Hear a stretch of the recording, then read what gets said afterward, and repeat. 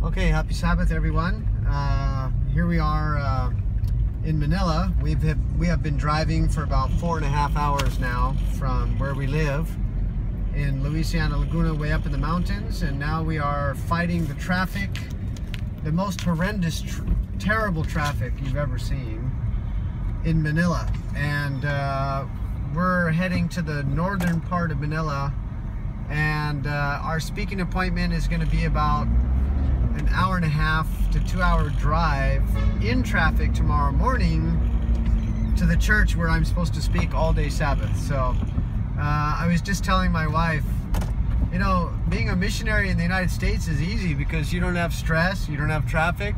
You just cruise on over to the church and speak and go home, relax.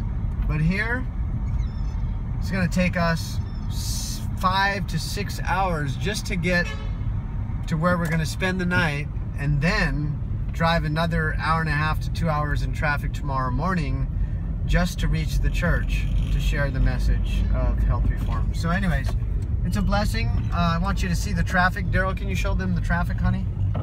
I'll turn off the light here. Yeah. Uh, this is EDSA. This is the main highway that goes through Manila.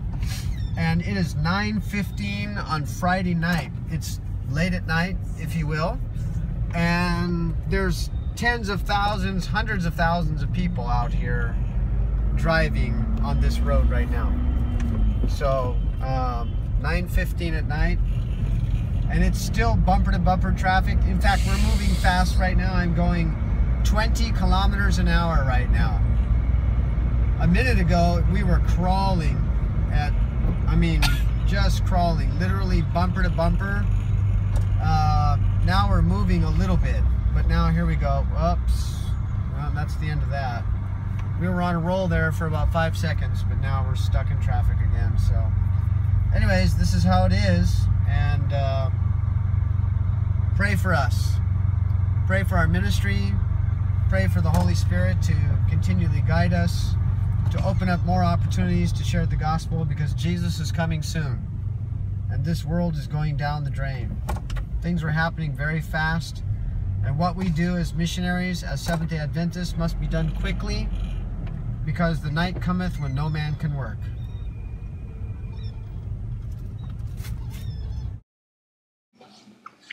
Okay, so it, it did take us about uh, six hours, oh, I'm sorry, seven hours to reach the church.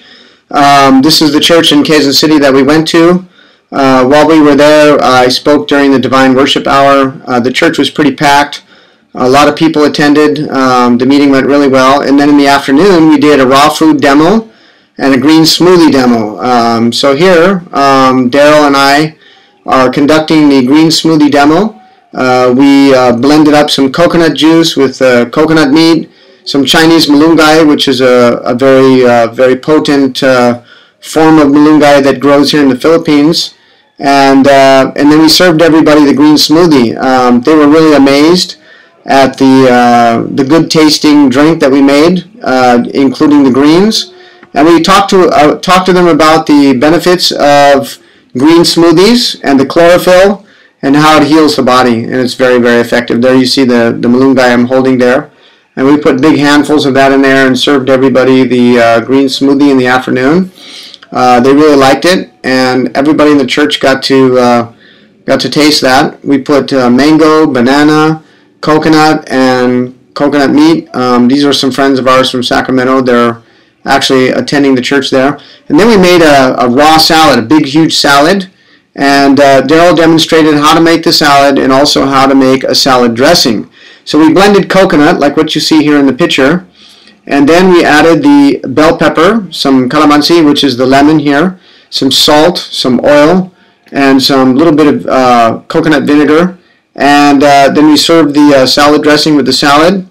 And uh, we also had some finger foods, which you see here, uh, that people could dip the food into, uh, the uh, dressing. And then we served up the salad, and everybody got to taste raw salad. most people here do not eat raw food. Um, they're really amazed that we're actually eating these vegetables raw because most people cook them and they really enjoyed the food. So it was a, a great opportunity to open their hearts and minds to see a different way of eating and preparing food.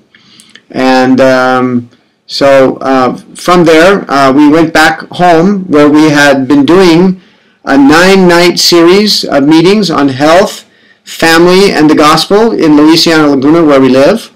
And uh, here we are uh, lecturing there. Um, and uh, towards the end of the meetings, I'd say probably the last five nights, there was a lot more people there. Um, so I did the whole series on health, and then we also did a live food demo as well.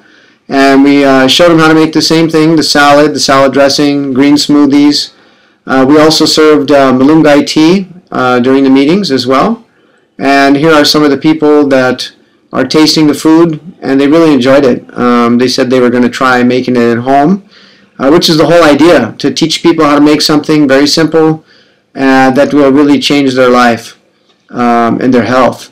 So um, the chief of police is lecturing there. He's actually giving the final remarks. Um, then we also handed out certificates of uh, appreciation to participants.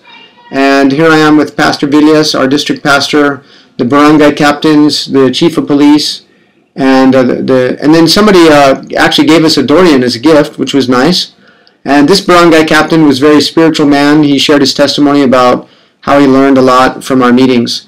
And then uh, we also had some uh, a cleanse program at the Central Luzon Conference. Here I am with district pastors uh, who went through a five-day cleanse. It was a three-day juice fast, two days of raw food. And then Daryl is uh, eating durian in the room there. Somebody gave us some durian from Davao City. And uh, here we are on the fourth day of their cleanse, and they're eating raw foods and a little bit of oatmeal.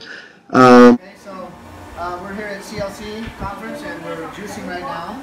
Uh, because drinking juice, I juiced carrot apple, and right now we're going to be juicing uh, some sugar beets and some cucumber. So we're just going to add that. We're using a Norwalk juicer. It's a two-step juicer. Uh, it separates the uh, it actually just makes it pulp, and then I take it in the bag, and then we use the hydraulic press, and it will extract the juice right out of there. This gives twice as much juice as other juicers, although it is a very expensive juicer.